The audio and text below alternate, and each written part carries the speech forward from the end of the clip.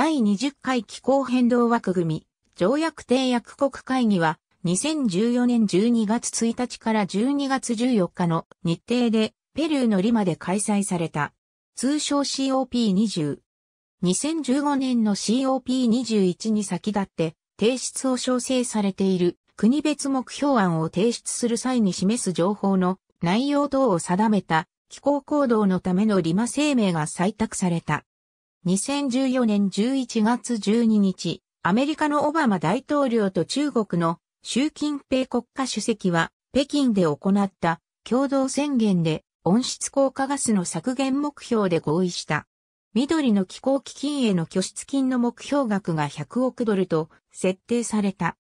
温室効果ガスの排出削減目標などを定めた国別目標案の提出を COP21 に十分間に合うように可能な国は2015年3月末とする COP19 での合意が改めて確認された。